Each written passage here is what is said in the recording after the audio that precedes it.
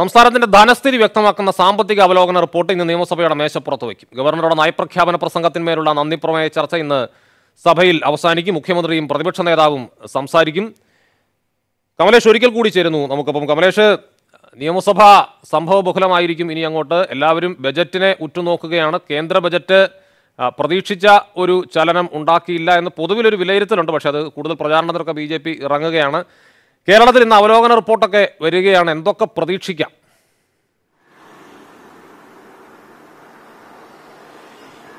കേരളത്തെ സംബന്ധിച്ചിടത്തോളം ഇന്നലത്തെ കേന്ദ്ര ബജറ്റിലും കടുത്ത നിരാശയാണ്. പ്രതീക്ഷിതം ആവശ്യപ്പെട്ടത് ഒന്നും തന്നെ കിട്ടിയില്ല. കടമെടുപ്പ് പരിധി പോലും കൂട്ടാത്ത ഒരു സാഹചര്യത്തിൽ സംസ്ഥാന ബജറ്റിൽ നാളെ കൂടുതൽ കടുക്കുമെന്നുള്ള കാര്യത്തിൽ സംശയമില്ല.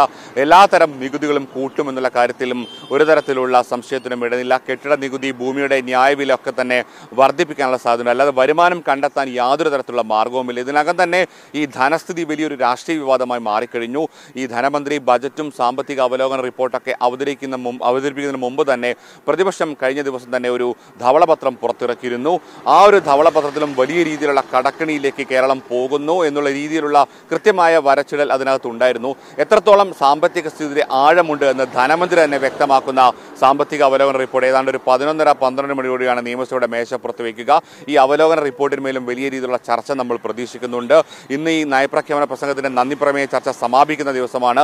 മുഖ്യമന്ത്രിയും പ്രതിപക്ഷ നേതാവും സംസാരിക്കും. ഇതിനകം തന്നെ ഗവർണർ സർക്കാർ ഭായി ഭായി ബന്ധം എന്നുള്ള ആക്ഷേപത്തിന് മുഖ്യമന്ത്രി എന്ത് മറുപടി പറയും? പ്രതിപക്ഷ നേതാവിന്റെ നിലപാട് എന്തൊക്കെയായിരിക്കും എന്നുള്ളത് നമുക്ക് കാത്തിരിക്കാം. എന്തായാലും സംസ്ഥാന ബജറ്റിലും വലിയ ആനുകൂല്യങ്ങളൊന്നും തന്നെ പ്രതീക്ഷിക്കുന്നില്ല. ഇന്നലെ സിൽവർ ലൈനൊക്കെ തന്നെ യാതൊരു തരത്തിലുള്ള പരാമർശമില്ല വന്ദേ ഭാരത് പോലും ഇല്ലാത്ത അവസ്ഥയിൽ ഇനി കേരളം സിൽവർ ലൈനിന്റെ പണം എന്തെങ്കിലും തരത്തിൽ മാറ്റിവെച്ചിട്ട് ഒരു കാര്യവുമില്ല. കേന്ദ്രം കൈയൊഴിഞ്ഞ മട്ടിൽ തന്നെയാണ്. അങ്ങനെ ഒരു നിരാശയുടെ സമയത്ത് കടുത്ത സാമ്പത്തിക പ്രതിസന്ധിയുടെ സമയത്താണ് ഈ സാമ്പത്തിക അവലോകന റിപ്പോർട്ട് വരുന്നത്. പ്രതിസന്ധി ഉണ്ടെന്ന് സംസ്ഥാന ധനമന്ത്രി ബാലഗോപാലും സമ്മതിക്കുന്നുണ്ടെങ്കിലും അതിനുള്ള പ്രധാനപ്പെട്ട കാരണം കേന്ദ്രമാണെന്ന് സംസ്ഥാനം പഴിക്കുമ്പോൾ അതല്ല നിങ്ങളുടെ ദൂർത്താണെന്നുള്ള നിലപാട് പ്രതിപക്ഷവും ഏറ്റെടുത്ത ഒരു സാഹചര്യത്തിലാണ് ഈ അവലോകന റിപ്പോർട്ട് ഇന്ന് വരുന്നത്. അബ്ജോദ് ശരി കമലേഷ് എന്തായാലും വരട്ടെ. കൂടുതൽ വിശകലനങ്ങളും കൂടുതൽ വിവരങ്ങളും നമ്മുടെ സാമ്പത്തിക സ്ഥിതിയെക്കുറിച്ച് നമുക്ക് തന്നെ ഒരു ബോധ്യമുണ്ടാകും എന്തൊക്കെ കൂടാൻ പോകുന്നു എന്നതിനെക്കുറിച്ചൊരു ധാരണയും ഉണ്ടാകും.